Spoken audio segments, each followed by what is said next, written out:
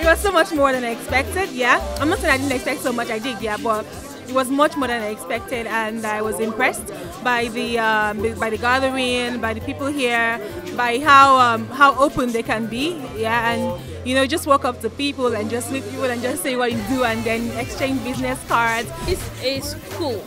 This is unique. It's good to actually come into a room and meet different people like you guys. You guys rock. This is nice. I would definitely want to come back next month for this. It's been a nice event. It's my first time. I met a lot of people, and um, especially people that can help my business. I'm obviously um, into hospitality, but I also love agric.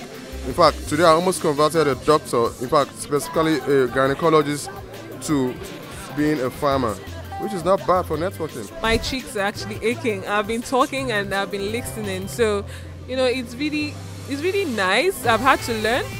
And that guy nearly turned me to a farmer. He was right. You know, and I had to convert a lot of people to buy health insurance. mingled with a couple of other people, people with um, like minds, um, people in the same industry, as it were.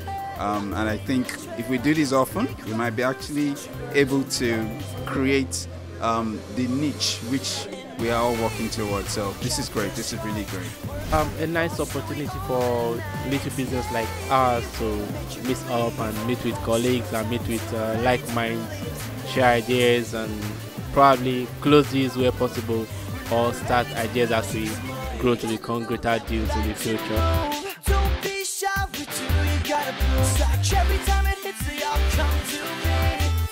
Looking for a business? Log on to connectnigeria.com. If you liked what you watched and want more, subscribe so you will be the first to know.